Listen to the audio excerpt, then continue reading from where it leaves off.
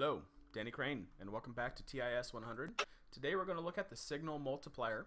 This one gives you two different inputs, and you have to multiply those two together and send it to the output.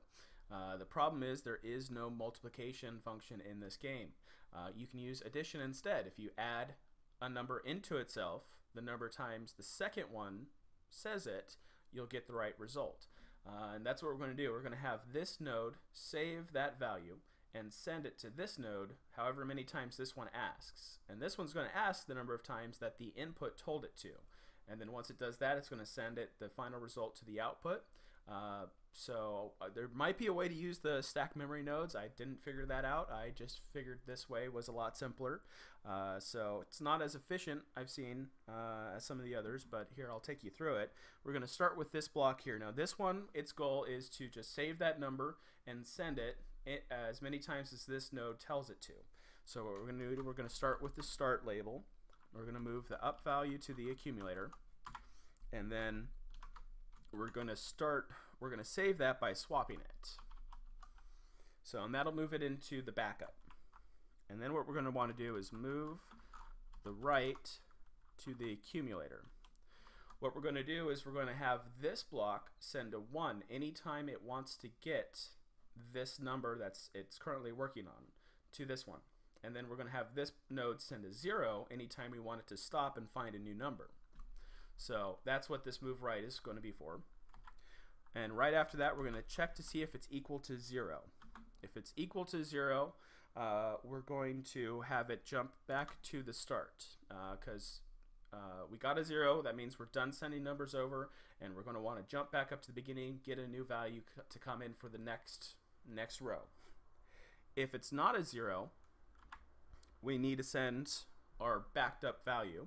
So what we're going to do is we're going to swap, and then we're going to move the accumulated value, whoops, to the right. And then we're going to jump back to A. So what this will do is after it gets its value, it'll save it in the backup, move the instruction that we're going to get over here into the accumulator. If it's zero, we don't need to do anything. We just restart and get a new value from the up. If it's a number, or if it's a 1, we're going to swap them back, send that number over, and when it jumps back to A, it's going to swap it back down again.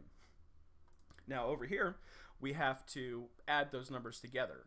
So what we're going to do first, we're going to start with our start label, and we're going to move the up value to the accumulator again. And then right here, we're going to check that value very first. We're going to check to see if it's equal to 0. If it is equal to 0, we're going to move to the Y bookmark.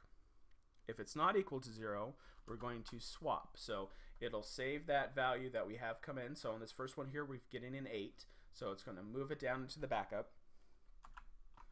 We're going to move 1 to the left. And so this will tell this block to send it its number. We're going to then add what's coming from the left because we're going to get a number back from it. We're then going to swap it and subtract 1. So that will take, because we, we had the input from B saved in the backup, we're going to swap those two numbers.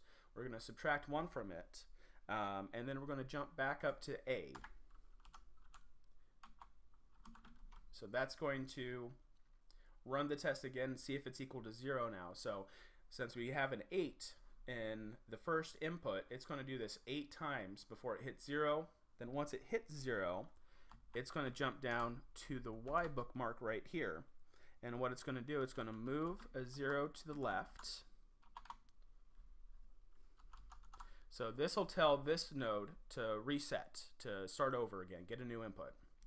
And then what we're going to do, we're going to swap our backup value, and then we're going to move the accumulated value down. And that's it. And then what it'll do is it'll jump back up to the start on its own, restart the whole thing itself. Right over here, all we have to do is move up, down, and then right here, all we got to do is move up, down. And that should do it. We can go ahead and press the run button here and you can see it's going through and it's adding all those numbers together and this side here we see the uh, you can kind of see it goes a little too fast to see it here but the the backup keeps getting bigger and bigger with each one of them now the more times it has to add in the numbers the longer the cycle count is going to take and this one is not very efficient because it takes a long time to do some of these um, especially when it's after about five uh, or higher on this B input here so I'm just going to click the uh, the fast play there we go. So really long on the cycle count, but probably some of the shortest uh, instruction count that anybody's figured out on this one. So uh, it just seemed a lot simpler than trying to use the stack memory nodes. I'm sure there's people out there who figured out a way to do that.